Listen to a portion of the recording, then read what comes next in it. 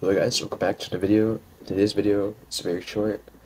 So if, if you're running low on enhancement cores, there is this uh, consumable called Finest Matter Weave, uh, which used to be a old consumable, but now it's you can convert uh, these Finest Matter Weave into enhancement cores. So if I use this, I'll get uh, enhancement cores. So if you have a lot of these and running low on enhancement cores, this is a great way to uh, restock.